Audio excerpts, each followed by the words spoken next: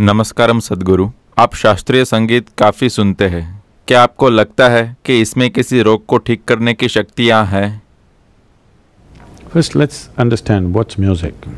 पहले ये समझते हैं कि संगीत क्या है। संगीत ध्वनियों की एक तरह की व्यवस्था है। अगर आप ध्वनियों को एक तरह से व्यवस्थित करते हैं तो वो शोर बन जाएगा। अगर आप ध्वनियों को दूसरे तरीके से व्यवस्थित करते हैं तो वो संगीत बन जाएगा। आज बहुत सारे शोर को संगीत माना जा रहा है। ठीक है? अगर आपको शास्त्रीय संगीत के बारे में कुछ पता है तो आप देखेंगे कि शास्त्रीय संगीत के पीछे बहुत अधिक मात्रा में गणित शामिल है। इसका एक ढांचा होता है। एक गणितीय ढांचा बनाया जाता है।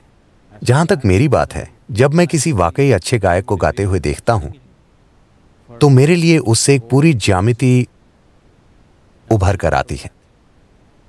तो एक तरह से आप ध्वनि के रूप में फिर से सृष्टि का निर्माण करने की कोशिश कर रहे हैं। कोई संगीतकार कितनी गहराई से, उसमें वो कितना आगे जा सकता है ये कहा नहीं जा सकता। लेकिन आप वही करने की कोशिश कर रहे हैं। आप ज्यामितीय पैटर्न्स की खोज करने की कोशिश कर रहे हैं। वो सभी जटिल पैटर्न्स जो सृष्टि के रूप में संभव हैं, क्योंकि सृष्टि बस ध्वनियों का या स्पंदनों का एक जटिल मिश्रण है। तो आप निश्चित रूप से जानते हैं। शब्दों को छोड़ दीजिए। मेरा मतलब अगर भावनात्मक शब्द मौजूद हैं तो लोग उससे थोड़े थोड़े भावुक हो जाते हैं। तो वो अलग बात है। वे लोग उसे अर्थ दे रहे हैं। बिना किसी शब्द के भी संगीत आँसू ला सकता है। संगीत आनंद ला सकता है। संगीत प्रेम ला सकता है। संगीत लोगों में मूड, भावनाएँ और अनुभव पैदा कर सकता है। बस ध्वनि से ही। शब्दों का इस्तेमाल किए बिना। शब्द यानी ये मानसिक पैटर्न है। ध्वनि यानी ये अस्तित्व से जुड़ा पैटर्न है। तो इसलिए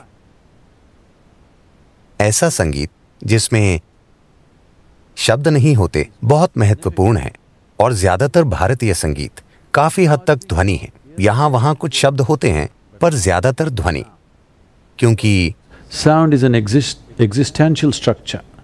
ध्वनि एक अस्तित्वगत संरचना है। शब्द, किसी शब्द का अर्थ एक मानसिक संरचना है। अगर मैं अगर मैं तमिल में एक गीत गाता हूँ तो आपके लिए उसका कोई अर्थ नहीं है, क्योंकि शायद आप वो भाषा नहीं समझते।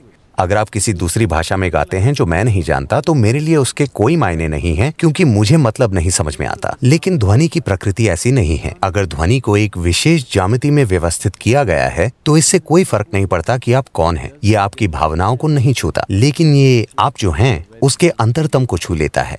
उस मौलिक तरीके से जिस तरह से ये सृष्टि यहाँ घटित हुई है। तो ये जीवन को छूने की एक कोशिश है।